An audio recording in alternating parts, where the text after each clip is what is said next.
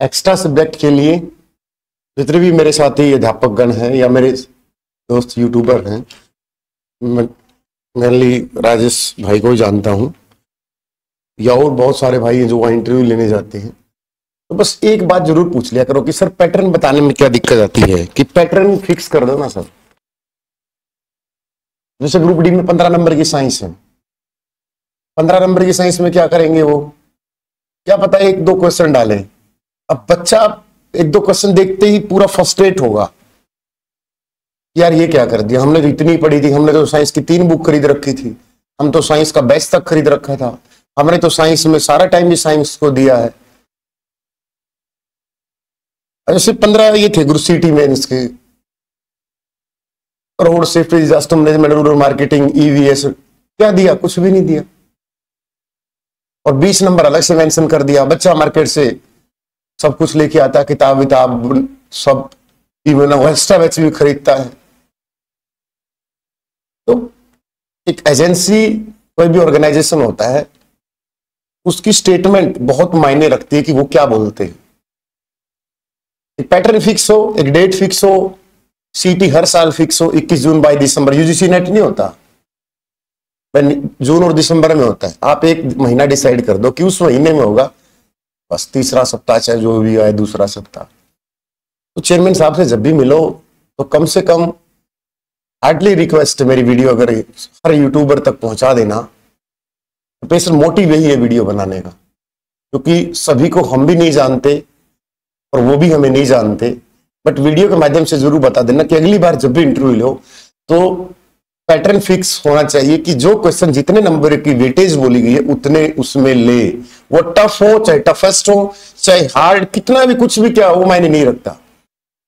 वो बच्चे की मेहनत पर डिपेंड करता है। अब सीटी परी में बच्चे ने खूब मेहनत करी जीएस पे उठा के पेल दिया वो। अब सीजीएल का बच्चा खुश। वो हमारे भी दुश्मनी उससे नहीं है। बट यहाँ स्वार्थी है सब। सबको मज़ा आ गया, ठीक है। जिसके आगे टॉपर, वो हो गया टॉपर, उसको मतलब नहीं है।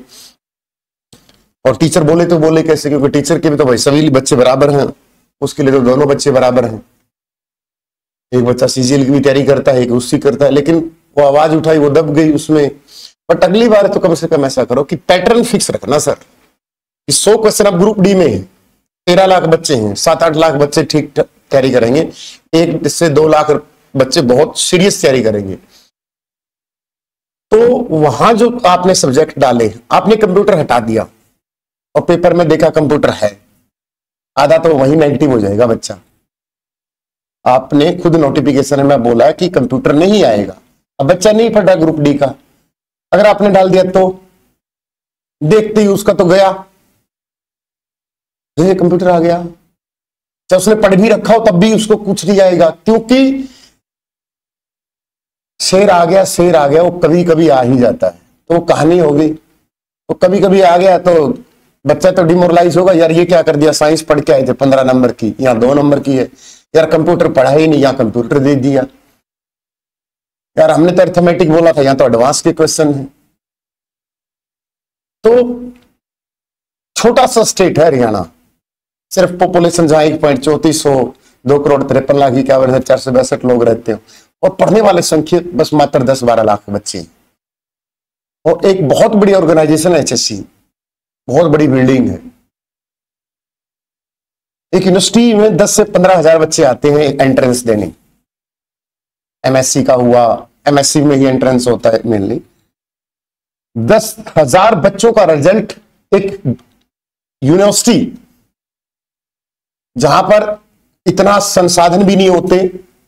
इवनिंग तक रिज़ल्ट जब तक बच्चा बसों में घर तक पहुँचता है रैंक वाइज उसकी लिस्ट आ जाती है। दस हज़ार बच्चों की। आपने भी देखा होगा, बहुत सारे बच्चों ने डीयू में एग्ज़ाम दिया होगा पीयू में एग्ज़ाम दिया होगा एमडीयू में दिया होगा के का दिया होगा जीजीयू का दिया होगा। आठ दस हज़ार बच्चे तो बैठते हैं एंट्रेंस में। जब हम एमएससी का, हमारे टाइम में तो इतना होता था, बारह तेरह की बात है। अब तो और भी ज़्यादा हो गया होगा। तो शाम तक रिज़ल्ट आ जाता है। घर तक पाँच छह बजे तक, सात बजे तक मैक्सिमम आठ बजे तक, दस हज़ार बच्चों का। तो यहाँ निकालने में क्या दिक्कत है? जब ज्वाइनिंग करानी होती तो दस दस महीने लटका दे, वरना दो दिन में ज्वाइनिंग तो उससे क्या होता है कि आप नौकरियाँ तो दे रहे हो। तो गाँव में कहावत है कि भैंस दूध तो देती लेकिन लात मार के देती है। तो उस भैंस को क्या बोला जाता है? आपने पाँच हज़ार बच्चों को नौकरी दी पुलिस की नो डाउट वो ज्वाइनिंग पे भी चले गए ट्रेनिंग भी शुरू हो जाएगी अभी। बट कितने हरासमेंट हुई है उनकी। उनमें उनकी क्या गलती है? उनकी उनकी गलती यही है कि वो हरियाणा में पैदा हो गए। या इसलिए गलती है कि एचएससी की तैयारी करने बैठ गए हो। रिज़ल्ट की वजह पेपर, पहले ही बोल देते कि नहीं, अभी नहीं, बाद में लेंगे पेपर। सारा सारा चीज़ को लेकर। एक तो यहाँ सलाहकार ज़्यादा है यूट्यूब पे। ये मेथड अपना लो परसेंटाइल कर लो फलाना। अरे आप भले आदमी हो आपसे इंटेलिजेंट वहाँ बैठे। आधे तो पजल यूट्यूबर कर देते हैं उनको। ये मेथड अपना लो, वो मेथड अपना दो, फिर उसको कोर्ट में चैलेंज मिल जाता है, फिर कोर्ट में ये हो जाता है, वो मिल जाता है, फिर फलाना कि कोई बच्चा बाहर हो जाता है, फिर उसकी कोई सुनने वाला नहीं होता, किसी को अंदर लपेट लिया जाता है। करें क्या? खुद एच एस सी।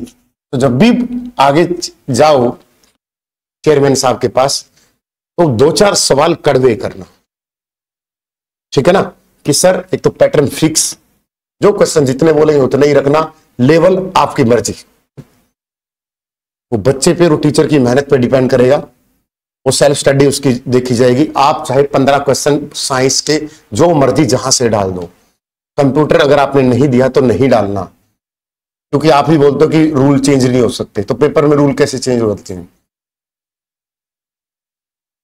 अब आपको फुटबॉल के तैयारी तीस बाई तीस, पाँच तीस का मैच होता है पैंतालीस, दस, पैंतालीस का होता है। आपने प्रैक्टिस उसकी कर रखी है, आपको बोल दे कि डेढ़ घंटे का एक मैच है, दस मिनट का रेस्ट है, फिर डेढ़ घंटे की दूसरा वो है। खिलाड़ी खेल लेगा। दो दिन पहले रूल बताए जाए या किसी पुलिस वाले की रेस फ़िज़िकल है। ढाई किलोमीटर की रेस है बारह मिनट में। उसको वहाँ पर दो दिन पहले नोटिफिकेशन आ जाए। नहीं, आपकी पाँच किलोमीटर की रेस है पच्चीस मिनट की।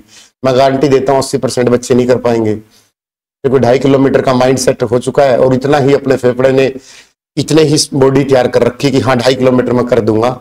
दस में करूँ या बारह में करूँ। पाँच किलोमीटर की रेस नहीं होगी। तो नियम और ये जो है, इनको बहुत पहले बता देना चाहिए। ठीक है ना? तो सर लवी सभी को बेस्ट ऑफ़ लक किसी को मेरी कोई बात लगी तो तय दिल से सॉरी लेकिन सभी यूट्यूबर्स मेरे सीनियर हैं, मेरे जूनियर हैं, मेरे भाई हैं, सभी से रिक्वेस्ट है। तो दो चार ये जो क्वेश्चन मैंने आपको बोले हार्ड पूछना, क्योंकि आप तो वहाँ पर जाना अलाउड है। हमें वहाँ जाना अलाउड नहीं है। ठीक है, कभी जाएँगे तो अलाउड हुआ तो हम भी पूछेंगे, लेकिन आप ज़रूर पूछ। ठीक है ना? चलो बेस्ट ऑफ़ लक